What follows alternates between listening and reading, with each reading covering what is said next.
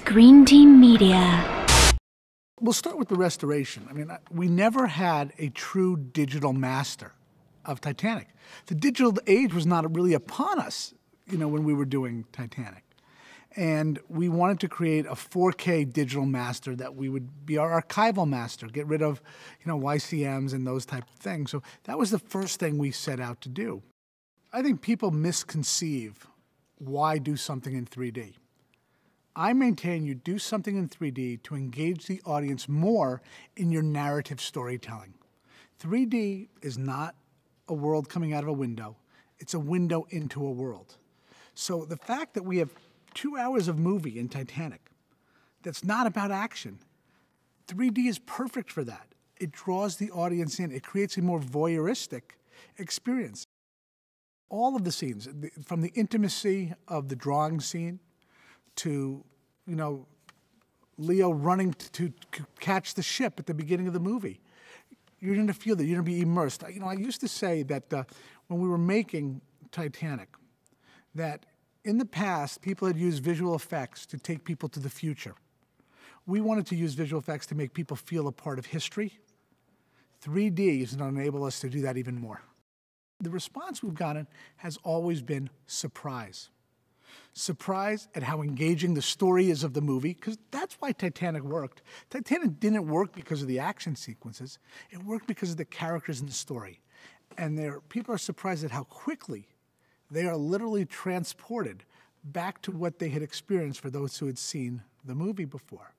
And then they're surprised as they watch it that they forget that they're wearing 3D glasses. When the clip is over and we go back in to see the press, most of them still have their glasses on and just start talking to us because they, they've forgotten they're wearing them because they've been engaged in the narrative storytelling of the film.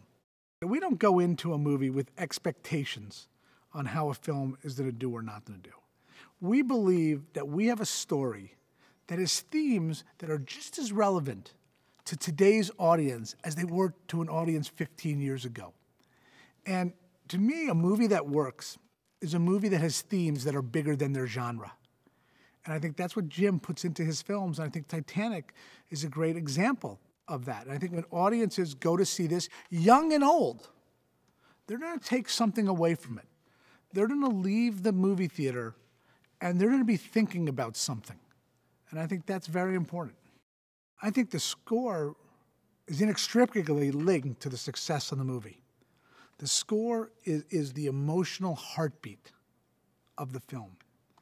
And what James Horner was able to deliver were themes that, as you went through the film, were recognizable to an audience subconsciously as they're going through the film on the journey he added to everything. And to his credit, most composers will work on a movie for six to eight weeks, maybe. He took six months off and dedicated himself to this film. We didn't ask him to go write a pop song for the film. He took the initiative himself. And the first time we heard My Heart Will Go On, he had already gone to Celine Dion, and we heard her demoing the song. Now, we didn't know if it would work in the context of this period movie. And Jim didn't want to listen to it that much before making a decision. So, what he did, he had the editors cut it onto the end of the film and waited until we screened the movie for Celine Dion in New York. And he wanted to experience watching the film and see how it played in the context of watching the film.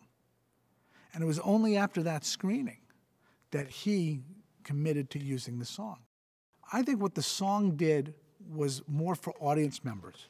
It gave them an opportunity to return to what they felt in the theater without having to go back to the theater. When they heard that song, it was transportive and brought them back to the, those feelings and those emotions of the theater.